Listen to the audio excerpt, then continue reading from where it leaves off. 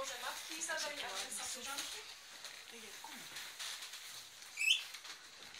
Widzisz?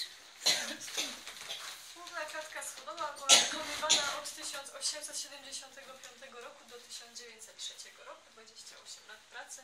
Ładny dywan. Podoba mi się dywan, nie, nie.